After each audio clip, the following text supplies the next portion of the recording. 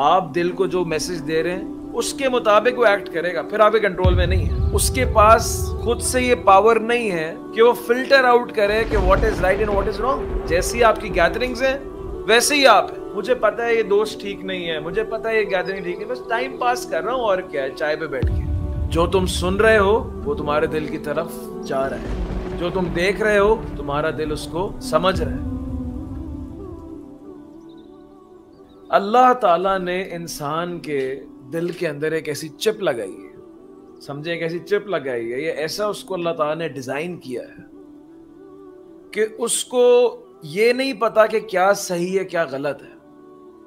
उसके पास खुद से ये पावर नहीं है कि वो फ़िल्टर आउट करे कि what is right and what is wrong उसके पास खुद से एक पावर नहीं है कि वो इंसान को ड्राइव करे किसी चीज़ की तरफ़। वो ताबे है इंसान के इल्म के।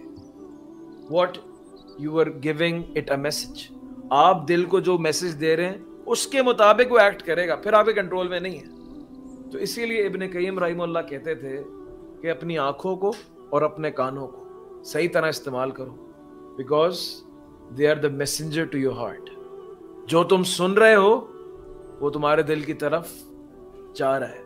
जो तुम देख रहे हो, तुम्हारा दिल उसको समझ रहा है। आप भले अपने माइंड में बोले हाँ हाँ ये तो सब ऐसी बातें हैं, गलत बातें हैं। अल्लाह के नबी सल्लल्लाहु अलैहि वसल्लम ने फरमाया अलमर वाला दीनी खलीली। इंसान अपने दोस्त के दीन पर होता है। जैसी आपकी गैदरिंग्स हैं, वैसे ही आप हैं। क्यों? क्योंकि आपका दिल उन सब चीज़ों को रिसीव कर रहा है जान जानते हुए या अनजाने में। आपको, आप चाहें, आप ऐसा नहीं कर सकते, आप दिल को अंधा कर दें और आप बोलें हाँ अब मैं जो कुछ चाहूँ सुन लूँ, जो कुछ चाहूँ देख लूँ, पूरी सीरीज़ देख लूँ नेटफ्लिक्स पे, और मेरे दिल पे कोई असर नहीं होगा। ऐसा नहीं हो सकता। आप बोले, मैं, मुझे पता है ये दोस्त ठीक नहीं है, मुझे पता है ये गैदरिंग ठीक नहीं बस टाइम पास कर रहा हूँ, और क्या है, चाय पे बैठ के। लेकिन आप ये नहीं गारंटी दे सकते कि उसका आपके दिल के ऊपर असर नहीं है।